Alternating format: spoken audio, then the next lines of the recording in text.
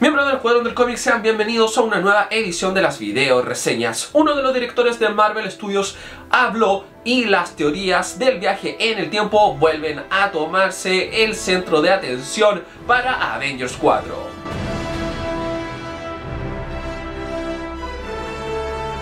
Amigos, por favor, antes de entrar en el tema, no olviden darle un enorme like a este video, ya que eso ayuda mucho para que llegue a muchas más personas. Así funciona el algoritmo de YouTube hoy en día, así que, por favor, vayan, denle un like que es completamente gratis. Ahora sí, vamos con el tema. Como les dije, las teorías de los viajes en el tiempo vuelven a tomarse el centro de atención para Avengers 4. Y esto no es porque haya salido una nueva teoría, una nueva explicación aquí y por allá, sino que son las palabras por uno de los directores de Marvel Studios, específicamente de el director Peyton Reed, que nosotros lo conocemos por su trabajo en la película de Ant-Man y en su secuela Ant-Man y la avispa. Pues bien, ¿quieres saber qué dijo el director? Estas son sus palabras. Basándonos en la ciencia que hemos establecido en la primera película y en esta no descartaré la posibilidad porque nuevamente estamos lidiando con un vórtice temporal. Eso podría pasar. Tengo que tener cuidado aquí como bien sabes. Los viajes en el tiempo, la teoría surgió hace mucho tiempo atrás cuando se filtraron las primeras imágenes de Avengers 4 y ahí veíamos cómo se estaba recreando la batalla de Nueva York, que fue la primera vez que se juntaron los personajes de los Vengadores. La primera película de los Vengadores, todo ese desarrollo lo vimos ahí y como dije se está recreando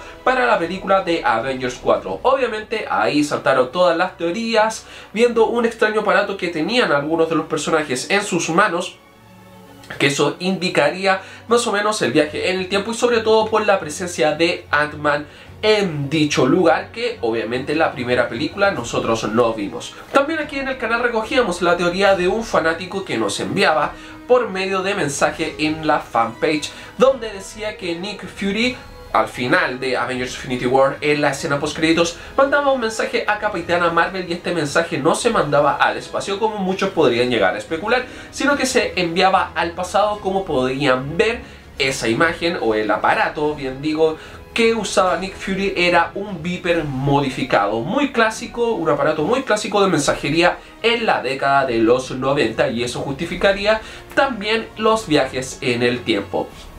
Pues bien, también como nosotros sabemos, Ant-Man quedó atrapado en el reino cuántico en la escena post créditos de Ant-Man y la avispa luego de que el chasquido de Thanos hiciera desaparecer a Hope Van Dyne, a Janet Van Dyne y a Hank Pym. Y aquí gracias a las palabras de Peyton Reed nosotros podríamos llegar a conectar todo Ojo que las palabras de Peyton Reed son unas opiniones del director, no está dando por sentado ni tampoco está confirmando todo lo que son estas teorías. Él está dando un punto válido a lo que todos hablan acerca de la posibilidad de viajes en el tiempo, ya que el reino cuántico da para mucho. La misma Hope Van Dyne decía al final de la escena post créditos, mucho antes que desapareciera, que desapareciera por el chasquido de Thanos, cuando Ant-Man iba a ingresar al reino cuántico a buscar un par de partículas para Ghost, le decía que tuviera cuidado con unas criaturas ahí que se ven muy inofensivas pero pueden atacar y también con los vórtices temporales. Ahí quizás se puede explicar un poco cómo nosotros vemos a Ant-Man en la batalla de Nueva York, pero eso no justificaría la aparición de esos extraños brazaletes que llevan los protagonistas. Aquí también puede entrar la posibilidad de que sea sacado de ahí y que con la ayuda de Tony Stark puedan viajar en el tiempo a través del el reino cuántico. Ojo, la conexión de todo esto, lo vuelvo a insistir, es el reino cuántico. De alguna u otra forma, la ciencia de la cual nos hablaba Peyton Reed en sus palabras viene a sustentar todo eso por los vórtices temporales. El reino cuántico en realidad da para mucho y nosotros solamente estamos rascando dicha... Eh, dicho elemento del universo cinematográfico de Marvel porque ha salido muy poco de él y el propio Kevin Feige también dijo, presidente de Marvel Studios, que el reino cuántico va a ser muy importante de aquí al futuro del universo cinematográfico de Marvel. Obviamente sobre todo después de la película de Avengers 4. Ahora la pregunta es, ¿qué tan importante va a ser al futuro? No lo sé, pero nos volvemos a sustentar en las palabras de Peyton Reed. Sí, puede sonar repetitivo todo esto, pero a pesar de que sean unas pocas líneas las que él habló, son bastante decidoras a pesar de que no confirma nada. Son solamente que le está dando validez a la teoría, pero así no la confirman, ya que estaría adelantando mucho para la película de Avengers 4. Pero a pesar de que le haya dado cierto sustento, la pregunta que queda es, finalmente, ¿quién va a desarrollar la tecnología para viajar en el tiempo? ¿Será que lo descubre Atman a modo de accidente? Efectivamente, Tony Stark estará trabajando en alguna máquina que nos permita viajar en el tiempo, obviamente usando la energía del reino cuántico, son preguntas que siguen en el aire, a pesar de que la teoría está ahí y está cobrando cada vez más fuerza. Pero ojo, también hay que tener mucho cuidado con las palabras del director. No es la primera vez que alguien de Marvel Studios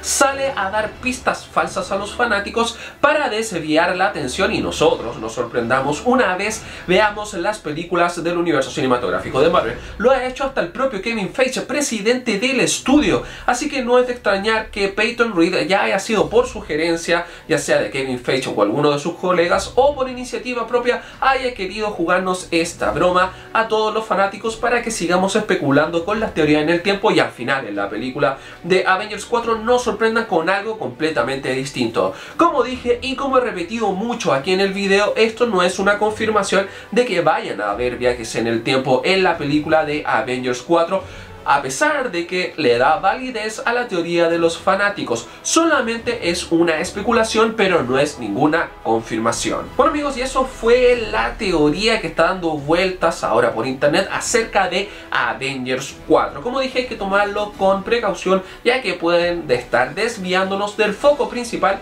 de Avengers 4 y nosotros no nos estamos dando cuenta por estar viendo esta otra teoría de viajes en el tiempo y que avala en parte el director Peyton Reed. Y que estamos llegando al final del video, antes de continuar quería dar unos saludos a los fanáticos que han dejado sus saludos y comentarios en videos anteriores del canal. Un saludo para Maika Mokena, Hiki, Brian MFX, Paticumbia 2029, Devorando Comics CL, Polly Pocket Zombie, Ganthem Videos 2, Naruto Rodríguez, Sam Godoy, Misterio y Terror Oficial, Pablo Caballero, Alejandro Ávila, Juan Carlos Valenzuela González, Oscar Jiménez, Galac Mon, René Abregu, Justin Contreras, Juan Francisco Pacheco, Jorge Corona, Ignacio Herrera, El Rincón de, Gene, el Rincón de Jero, bien digo, y Cristian Mata. Muchas gracias a todos ustedes por dejar comentarios y ahí un saludito para ustedes. Y si quieres un saludo, obviamente lo puedes pedir aquí abajo en la caja de los comentarios.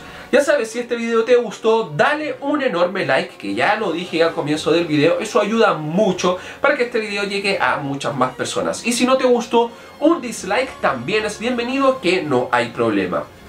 Si tienes algo que decir acerca de esta teoría, ¿le crees a las palabras del director Peyton Reid? ¿No le crees? ¿Crees que efectivamente está desviando el tema o cualquier otra cosa que quieras decir aquí en el canal? Todo lo puedes dejar aquí abajo en la caja de los comentarios. También si son nuevos no olviden suscribirse a mi canal de Todo Un Poco en Comics para ver más videos así. Y también como se está viendo en el video a continuación, activen la campanita de notificaciones para que YouTube les avise cada vez que subo un video nuevo. Como ven ahí, no olviden poner activar todas las notificaciones para cada vez que tengamos alguna actividad en el canal YouTube les notifique a todos los fanáticos. Ahora sí, sin más que decir, me despido, soy Jopek y nos encontramos en una nueva edición de las video reseñas.